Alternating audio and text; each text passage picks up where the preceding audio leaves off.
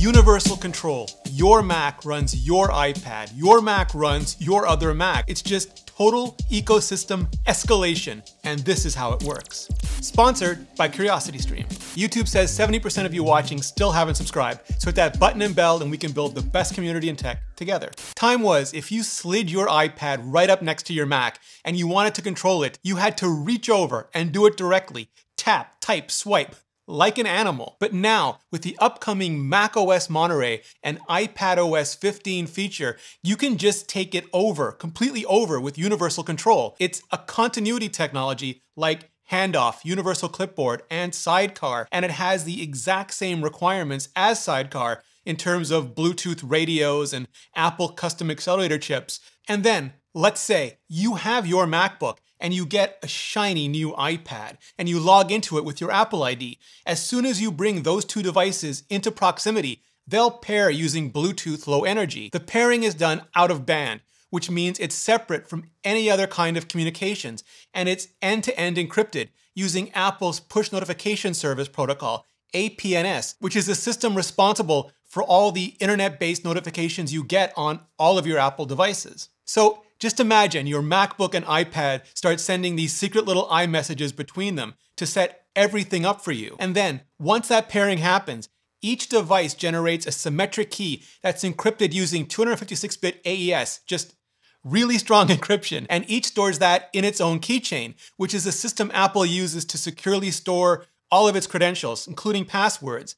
And those keys are then used to encrypt and authenticate the Bluetooth Low Energy broadcasts between all of those devices. Apple also measures things like time of flight or how long the transmission takes between your devices to make sure your iPad really is close to your Mac. In other words, you have physical possession and oversight of both devices, but also to make sure some theoretical evildoer isn't sitting in the middle trying to record the broadcast on one end and relay or replay it on another device on the other end, or some evil roommate isn't sitting in one room trying to figure out what you're doing on the other device in the other room. All of that just to say Apple's goal here is privacy and security. But once the pairing is established and secured, your devices then use Bluetooth LE to advertise their current activity, protected by 256-bit encryption in Galois counter or GCM mode, which helps balance the security with the performance you need to do things like this. And not just to sync data, like you'd see with Google Docs open on two computers at the same time, but the activity and state, the actual activity and state of what you're working on. And it's how you can now drag the cursor on your Mac to the very edge of the screen and then keep on dragging and have it pop up on your iPad.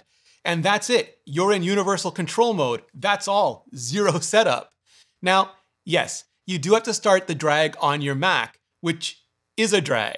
You can't initiate, you can't start universal control on the iPad, at least not yet. But once you start that drag on your Mac, the way Apple figures out where your iPad is relative to your Mac is very, very take a pencil into space. I'm sure they prototyped all sorts of time of flight scenarios and acoustic pattern models to try to figure out exactly where in time and space each device was relative to each other. And I'm just as sure that eventually every device will have a U1 or similar chip in it and will just automatically know where every other device is always.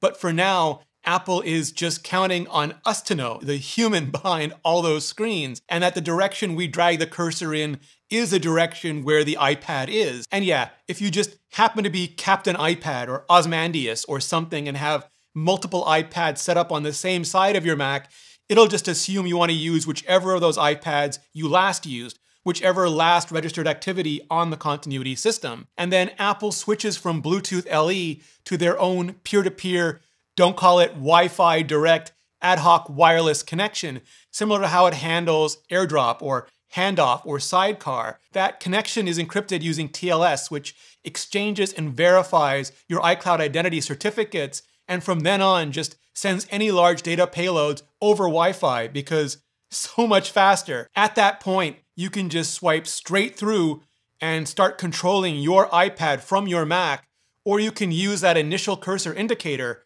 the Mac or iPad icon on it, to adjust the level for the cursor. So if your iPad is slightly higher or lower than your Mac, you can set what you want to be considered level default. So when you begin swiping back and forth, the cursor stays exactly where you expect it to stay. And from then on, your Mac mouse or trackpad can just control your iPad as if it were the iPad's mouse or trackpad.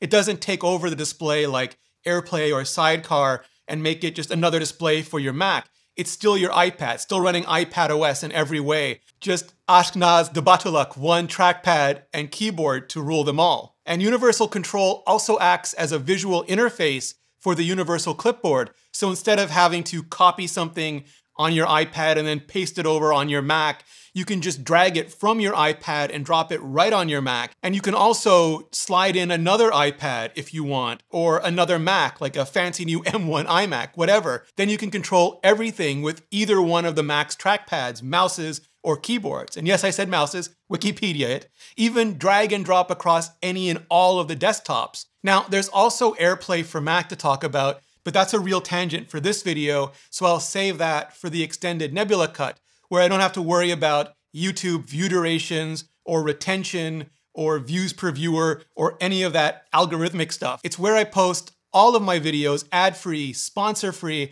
and many of them with extended bonus content that just wouldn't fit on YouTube. Sometimes twice or three times as long, like event reactions, interviews, explainers, and more. And you can get a Nebula subscription bundled in for free when you sign up with curiositystream.com slash Ritchie or just click the link in the description. And right now, because you watch this channel, you can get that bundle for 26% off, less than 15 bucks a year, less than the price of a fancy bistro burger for a whole entire year. And that includes their thousands of amazing documentaries and series like Work in Progress, which explains how the very concept of work can and will evolve in the future as well as all the ad-free and often extended videos on Nebula from MKBHD, TechAltar, Jordan Harrod, Ali Abdaal, Real Science, Legal Eagle, and so many more for over 26% off, less than $15 a year. Just click the link in the description or go to curiositystream.com slash. And clicking on that link really helps out this channel. Here's another deep dive, this time into Apple's brand new private relay feature, and also a video the YouTube algorithm thinks you'll enjoy even more. Yep, it's human versus machine. So let me know which one you picked, and I'll see you in that video.